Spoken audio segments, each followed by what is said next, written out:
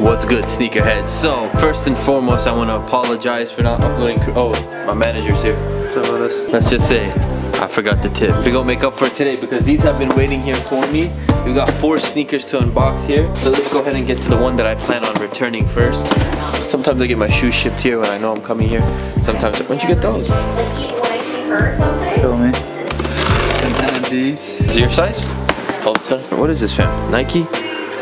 They wrote me a personal letter. Let's read what it says. Dear Qias, you're the GOAT. Keep it that way. Team Adidas. So I'm gonna return these, but I bought them.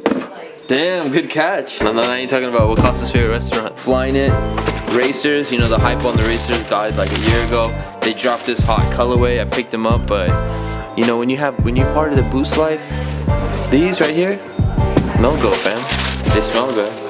I actually like them honestly. Low key might keep them. Alright, I'm gonna have to think. Comment down below. You guys think I should keep these or you think I should uh, return these? How often am I gonna wear them? You know what I'm saying? It's Boost over everything. These ones are baddies. Yeah, these are nice. When'd you get these? Let's just say unboxing half his sneaker collection video today.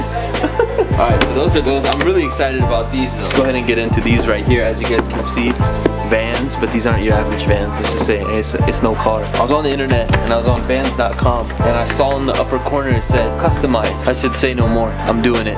I custom made some Vans. Let me see which one this is because one of them Comes in this little knapsack. It said custom made for you. This is, uh, oh, this is Ahmed. I bought one for Ahmed. And obviously, I don't need to tell you where the inspiration comes from, but check these boys out. These are the Qrew vans right here. So as you guys can see, the upper is a black, very soft. Uh, I'll say this is like a, what's the word I'm looking for?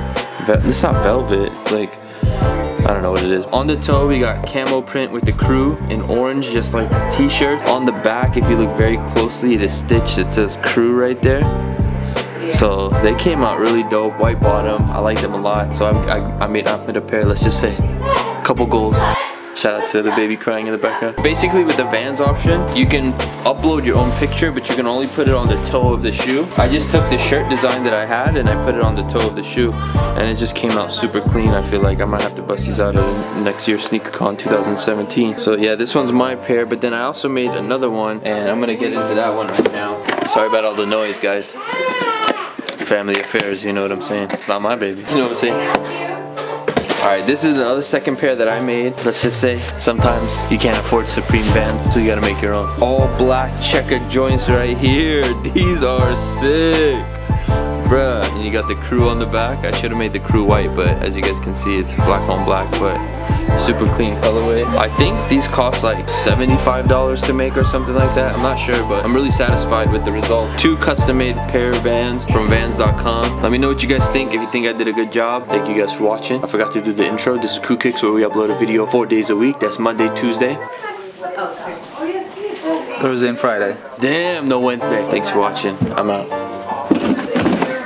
You should have recorded that.